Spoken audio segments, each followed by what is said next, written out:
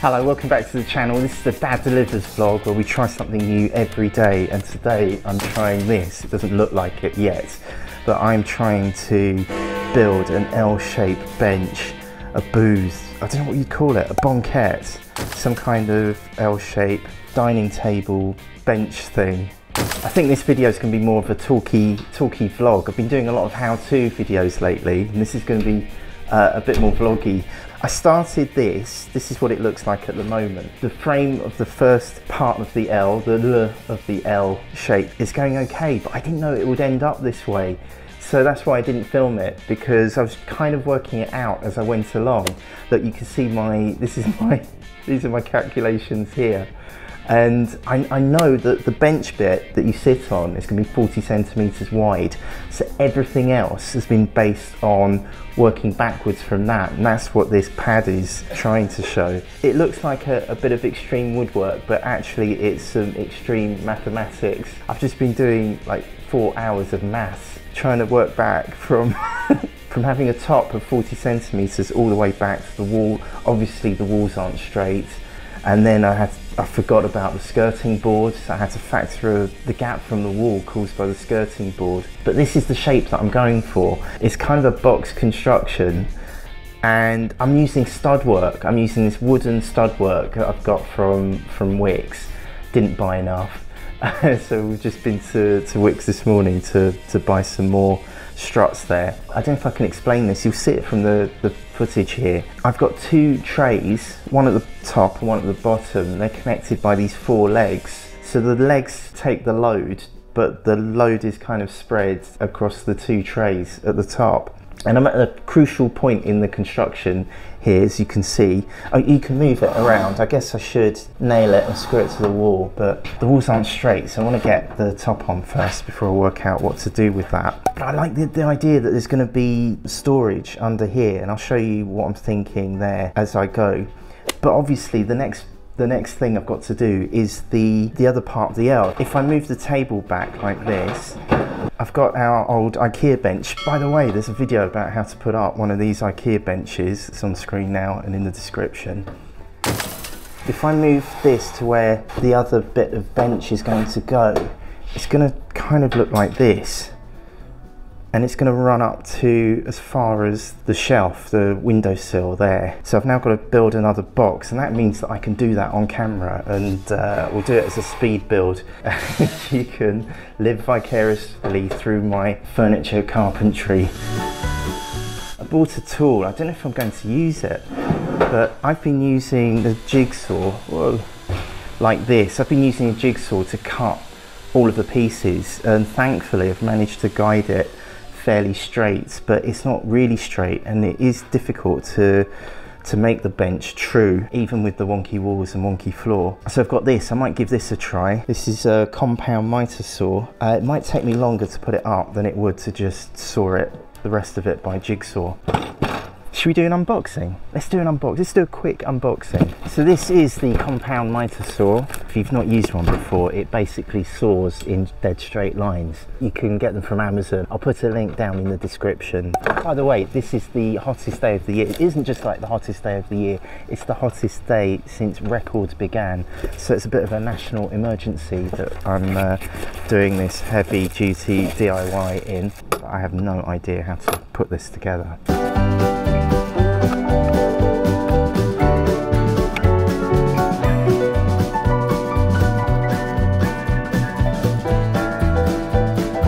Talk, let's put it to the test. I'm going to cut the next beam, the next bit of stud work to go onto the L-shaped bench. I don't know why I make these videos. I think it's to, uh, to somehow uh, find meaning in my life. a friend showed me this. If I rub a candle, or in this case a tea light, along the blade, the, the wax melts as it goes through the wood and it helps it to glide across and uh, brings the friction down makes it slightly easier to saw.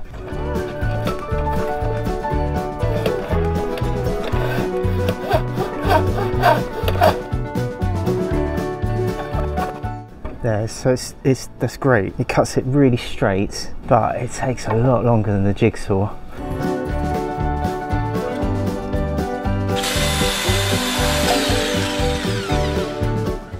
is so much quicker. I don't think you can see it on camera. That's, that's good enough. That looks straight. Feels straight.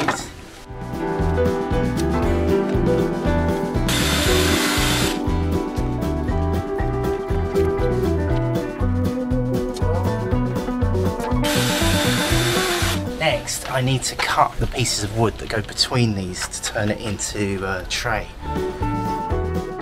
I'll go back now to using the mitre saw.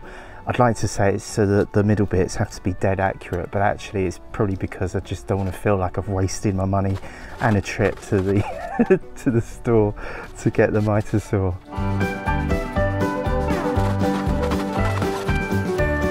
Now I get to cut the legs. Should we go for a different angle?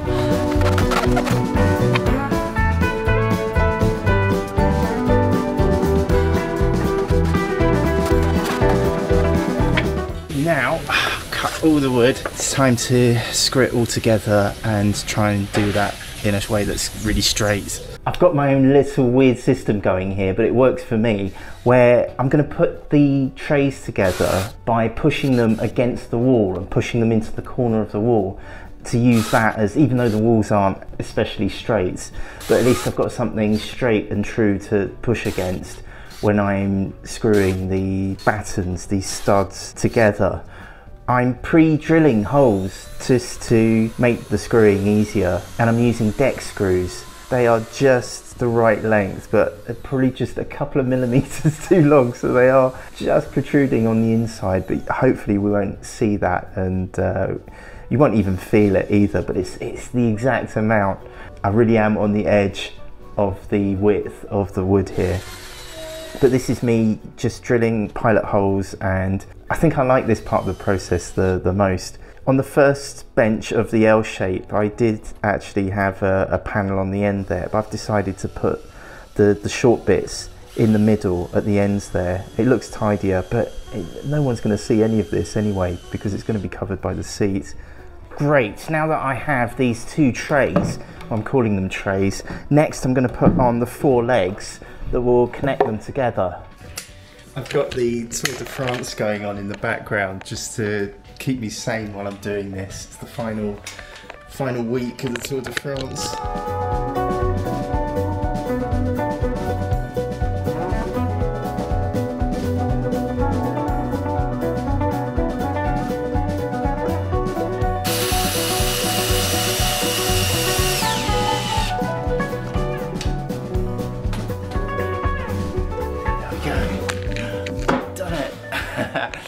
There, I've done it.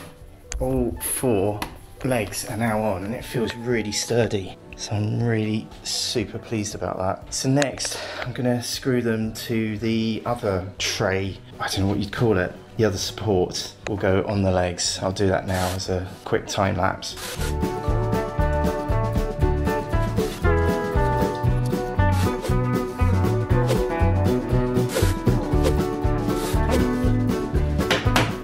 Solid. it works. It works. I've just got two more screws to put in. Let's give you a close up on the final screw to go in.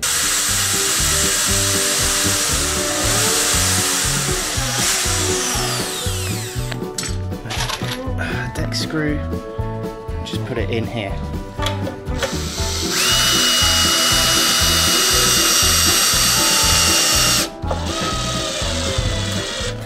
He's done. So now uh, we turn it into an L-shaped bench.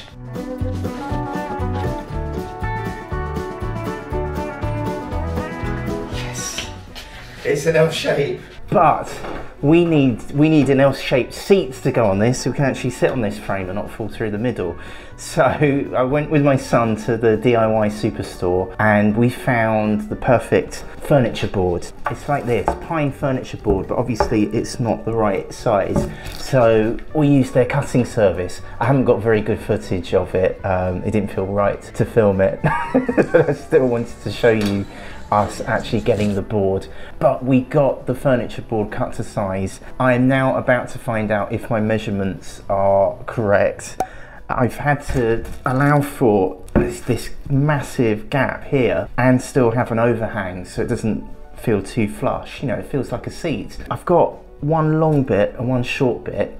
And even though this is the long bit and that's the short bit, I'm going to put the long bit down the, the window side of the wall. It just felt more right doing it that way. Oh, here we go. So I'll lay down the the longboard on this side. I'll make it flush with the wall. This shorter one can go like this. Oh, it works. You can sit on it. We got an L-shaped bench.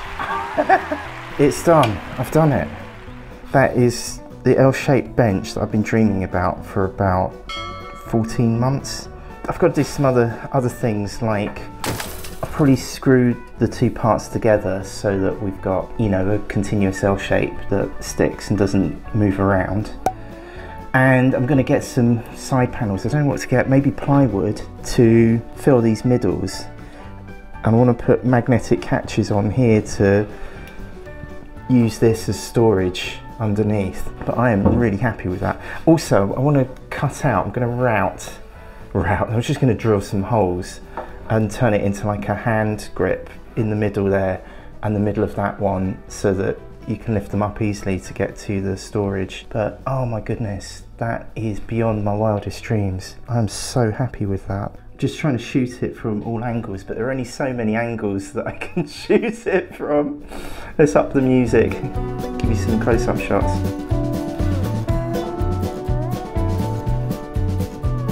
The other thing we'll do is we'll probably, we, my amazing unstoppable wife will probably make some kind of padded cushion for that. I don't know how you do that L shape. I suppose you just do it with, with two parts again. Well, welcome back to part two of my L-shaped bench project. Because, as you can see, I've got the sides not covered up. So if we were to use it for storage, everything would sort of fall out the edges. So today, this morning, I went to my favorite place on earth, not really, somewhere that I seem to be going a lot. It was another DIY superstore. This one happened to be B&Q and I wanted to find some plywood.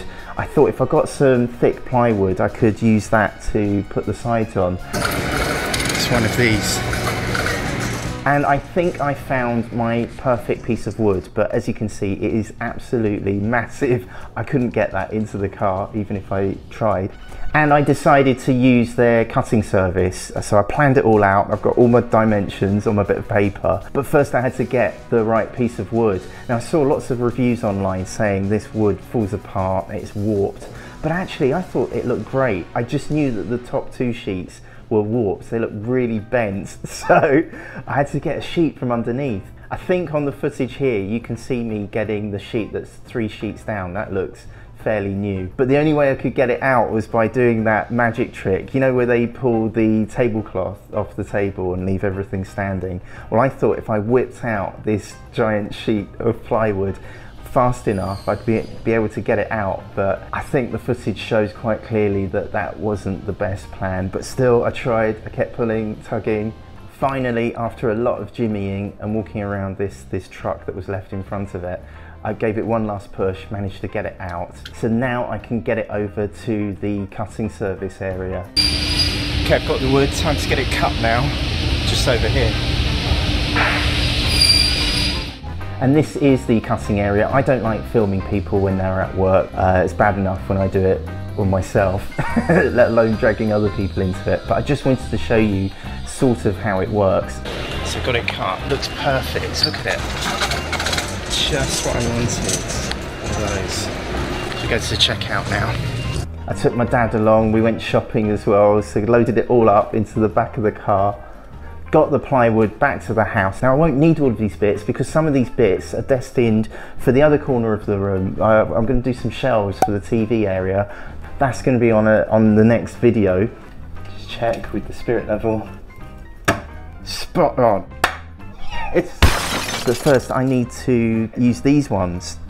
These planks here that they very kindly cut up. I hope I've got the measurements right. I've not checked it yet. I thought I'd do it on camera and share, share the joy with you. But let me show you the basic idea.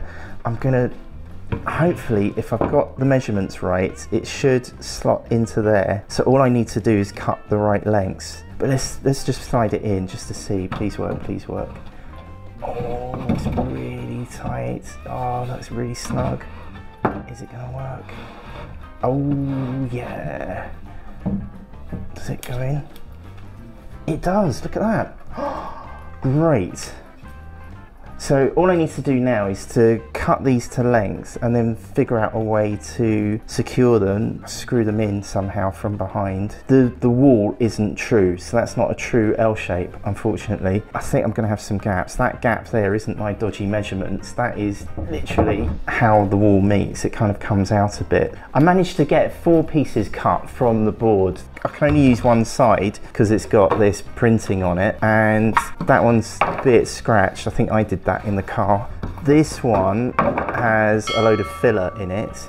This one looks okay and this one looks okay whoa, I'm going to use these two for the big parts, the long parts on the bench. It's the 1st of August, it's the middle of summer and it has just started raining so I'm going to try and get this done as quickly as possible. One of them I don't have to cut at all, I'm just going to run that the whole length. So if I can choose that one, I think I'm going to, it's a hard choice. I think I'm going to keep this one so we'll get that out of the rain, which means I need to make this one 79.2 centimeters long. I really do not want to mark these pieces of wood, so I'm laying out the dog blanket on our IKEA Siglaro table just to keep it scratch free. I know I should probably varnish it and uh, protect it. I'll probably do that later on, but let's just cut it to length now. I'm using my jigsaw and I'm trying to guide it as straight as possible, which is a bit tricky in the drizzle, but I'm sure I can get it through there. Casper's got his friend over. And now I'm going to cut this piece into smaller pieces. These will go onto the sides, onto the ends of the L-shaped bench to stop all my stuff falling out. I'm on a bit of a wing and a prayer with these measurements because I've got to keep the jigsaw straight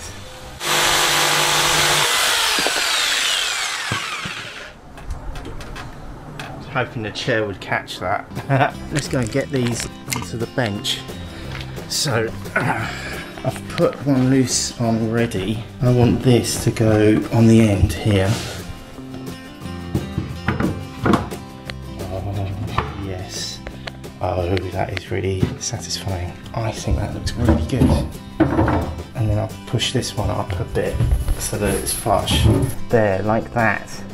Completely flush.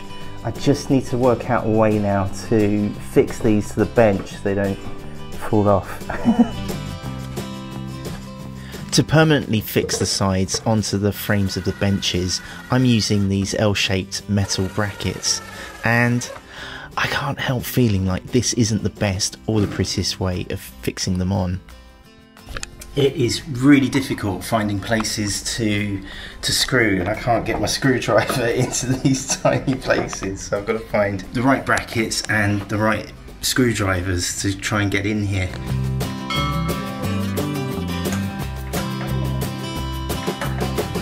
So I've got a bit of a gap here, but it's a bit unavoidable. I think that's the closest I can get. And when the lids are on, let's put the lids on. There, finally, got sides on and, and oh, I could do this.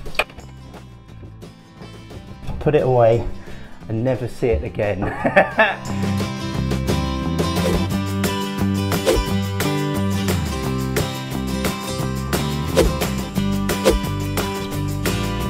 today I'm going to be finishing off one job.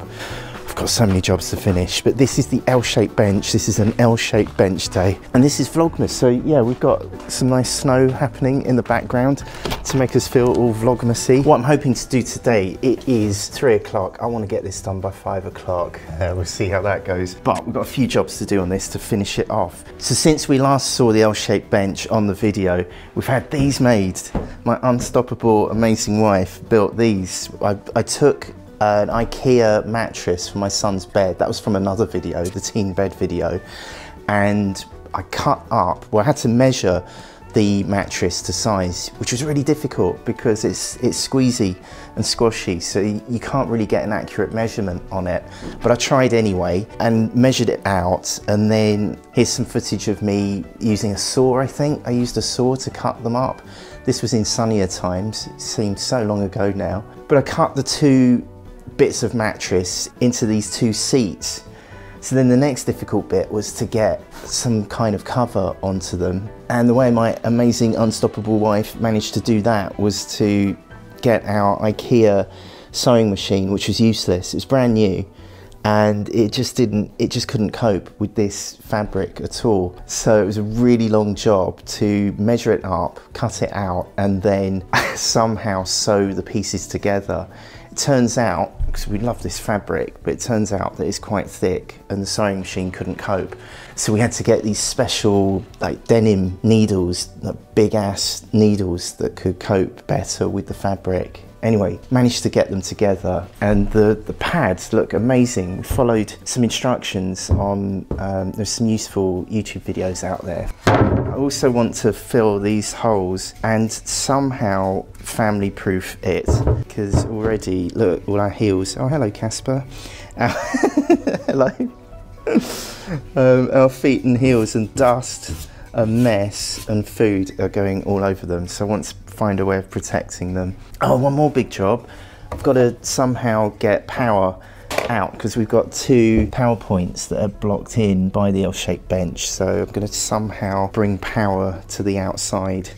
Yeah, that's a two hour job, isn't it?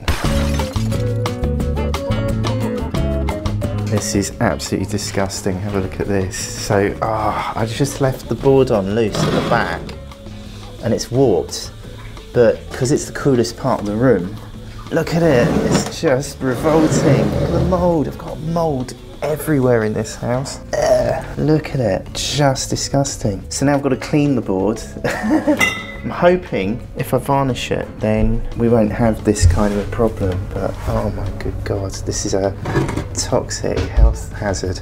I have put a face mask on now because the spores just go everywhere. And look at it, it's just covered in mold. I use this Milton sterilizing fluid. You know the stuff that you used when the kids were, were babies? This stuff I don't know if it's the right stuff for mold, but every time I've used this, and I've cleaned a lot of mold from the house recently, it has not come back when I've used Milton sterilising fluid on the patch of mold. So I'm now, oh my goodness, just getting it everywhere, but I'm just getting it on the cloth, on the board, trying to remove as much mold as possible without disturbing it too much and watching it go poof into the air. The little black clouds of mold spores.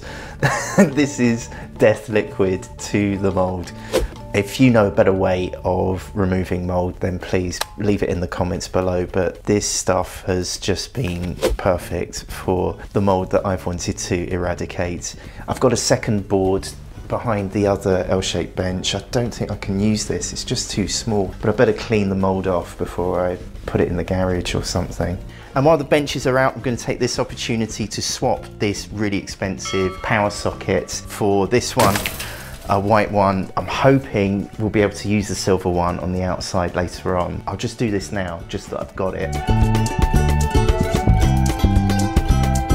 The next thing that I'm going to do is put wood filler into these screw holes. I've got this stuff off Amazon and I'll just scrape it on. And if I do it now, hopefully it will dry before I put the varnish on. So here I am spreading it in and just using the the trowel, the wallpaper scraper to keep it off, off the edge of the holes. I'm only doing it on the screw holes that you can see on the outside. I won't bother doing the ones behind because, you know, I'm a craftsman and now something I've wanted to do since the last video, I'm now using these really nice brackets that I got from Amazon. I'm just using them to make the panels on the side lie a bit more flush with the stud. It's really difficult getting the power tools in between the stud work to try and get them in, but they, these are much easier to do than the L-shape brackets that I was trying to do last time. So I think they're gonna look really good as well, even though you can't see them on the inside. This is a really dicey moment now. I'm trying to fit the power sockets onto the end of the shorter bench and to do that, oh, I, I took so long to fit these exactly. The first step is to measure out the power socket and to try to center it and it's difficult to judge because I've got a lot of stuff at the back of the socket that needs to be accommodated by this hole. So the hole can't be too big, otherwise there'll be a gap and it'll fall through. And it can't be too small because it needs to be big enough to accommodate all the socketry at the back of the socket. So I'm taking my best guess with my pencil, measuring it out. And now the scary, scary bit. I'm drilling holes in the edges of where I think the cutout's going to go. And once I've drilled these holes through, I've then got a space for the jigsaw blade to get in and I can now carve out this middle. This is too late now. This is either it or very much not it, but I'm gonna cut out this center section here and hope that the double power socket fits it goes through and yes it fits, it's a perfect fit. It looks like it can sit on there. I'll have a box behind it as well and, and hopefully that will grip and hold the power socket in place. It's time to sand down the, the filler now. It's not quite dry, but I'll just take off the big bumps and edges just to flatten it down a bit, get ready for the next step that's coming. And now what do you think? Uh, leave a comment below. I've got to coat these with something to protect it from our, you know, our boots just kicking up against it when we're sitting down there. Do I use protective oil or do I use wood varnish? Uh, I don't know why, I'd much prefer to oil these. I'm gonna have to go with the varnish because of the scuff marks. It just feels like this is more of a protective seal. I'm gonna varnish them and we'll just see how we'll go with that. This now is the job that I'm absolutely dreading. Yep, it's time to varnish and I have never varnished before in my life. I'm reading the instructions. I know I've got to do two to three coats and I've got to leave an hour between each coat. And I'm also painting with the grain rather than against the grain, even though it's plywood. It's really hard work because it's the benches are filthy and I've cleaned them as best as I can. I don't think it's good enough, so I keep picking up fluff, but I'm managing to, to get the varnish on without making too much of a state of it. I'm doing the obvious bits that you can see and the obvious bits that will get kicked by our shoes while we're sitting on the L-shaped bench. But I'm also now thinking, well, maybe I should be doing the backs because if I do the back of the bench, then it won't get wet and it won't won't get moldy. So now I'm painting inside and I honestly thought I could do the whole bench with one tin and look, I've used the whole lot. so I put a second and third coat on, the really obvious bits that you can see. Oh, and I forgot, I forgot to paint the, the stuff that we sit on, the two furniture panels that I cut to sit on, which is the actual top part of the bench. Yeah, I've got to do a good job with these because these benches take a bit of a pounding from our delicate behinds have a look at this. It's now 11 o'clock. Now it's 5 to 11. the whole family have gone to bed. I've been doing this for eight hours. I had something to eat and I had to recharge the camera a couple of times, but I've been at this for eight hours. But it's okay because I've got everything varnished. I've even managed to fit properly a nice box and a little extension lead for the power sockets. What I'm going to do now, let's speed this up. I'm going to reassemble the boxes, the two benches I'm going to bring them together and I've also got to find a way of kind of bolting them together. I thought I could keep them loose, but over time they just drift apart. They're like tectonic plates. They want to make their own way. I think I've figured out a way to fix them together and I'm just going to loosely screw them together just so they hold, hold tight and don't drift across the kitchen while we sit on them. I'm calling this Dad Delivers Success. Let me leave you with some beauty shots. I'll try and shoot it from as many angles. But I think this is pretty much the end of the L-shaped bench project. I am really pleased with how these have turned out. It just looks really inviting. It's covered by the table, so you never get to see the work that went into this, the hours but I think we've we've managed to make some storage and make a nice soft area for the corner of the room. I've no idea what we're going to do about the mould. I think we're going to have to get some kind of dehumidifier for the kitchen or something. Anyway, if you've got any comments, Are you having a go at this? Please leave a comment and, and don't forget the previous two videos are down in the description. If you got to this point, thank you for being so awesome by hitting that thumbs up button or even the subscribe button. And right here is what YouTube thinks you want to be watching next. Can you please help my daddy get 10,000 subscribers? Just click on his face. Thanks, bye! Alright, this is gonna be the proper one, right?